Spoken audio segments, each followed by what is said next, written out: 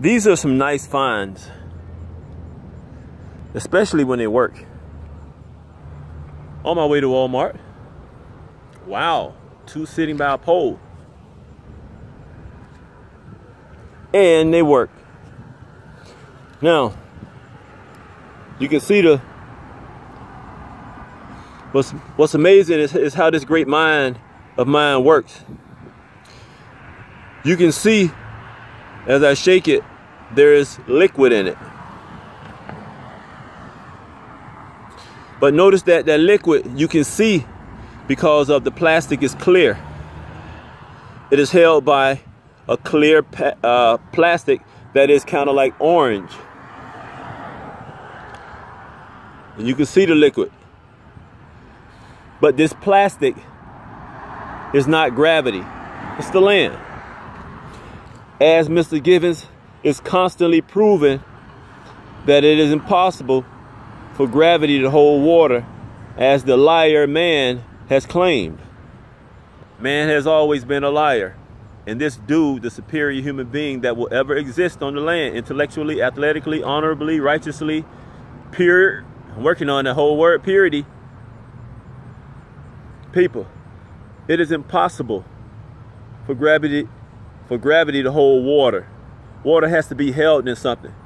You see how clear this is? Well, it's not clear.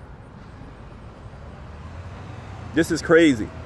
And I just found these, picked it up, but it goes to my gravity being a fraud holding water the land is doing its job as the land is doing its job holding this fuel in here. And I do like lighters though. I really do. See the flame? Bam! And I went through Union Station and the chick asked me for a cigarette. Bam!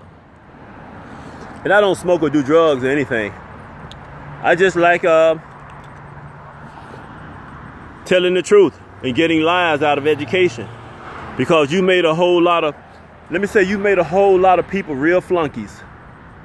You made them dummies. So when you got them hooked on drugs, they became your flunkies. So you can have them do your dirty, stupid work. I respect that FBI, CIA, Department of Justice, whoever y'all fools are.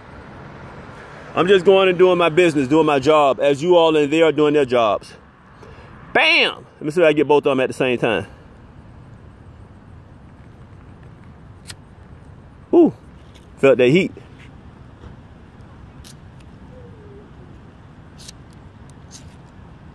I'm on both at the same time. Let me stop. But the point is, people, gravity is a fraud. As is congressmen and women who funnel, launder money to NASA and their stupid behinds. And yes, by the way, I'm in DC with my shirt off. Who needs a shirt when I've been enjoying and sleeping in the cold nights when the sun is down. This is beautiful to me, especially when I'm out in the sun. But once I get in the shade, it's like uh, 10 to maybe 15 degrees cooler. So eventually I'm gonna have to throw on some clothes. But right now, I'm basking in my glow of intelligence, beauty, and super beauty. More intelligence than beauty though. All right. I see the sun, but I'm still looking for the planets. I'll be a looking ass though for the rest of my life.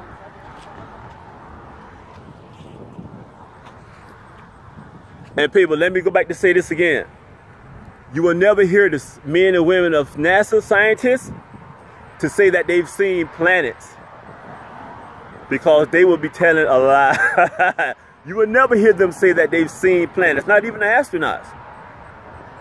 You will never hear them say that. It's always a third party, be it some fool on TV, media, um, or they throw it in a book, a sixth or twelfth party. But you will never hear them come out and say that because then they will be telling a lie and they will be really entitled to go to prison because money is being laundered to them through Congress. There's no planets, there's no gravity. You need something, an object, to hold liquid. Bam! Bam! Boy, it's great being intelligent. And I am the superior human being who's under the girl. She's absolute power. All glory and power to the Lamb. Oh, let me end with the lighters.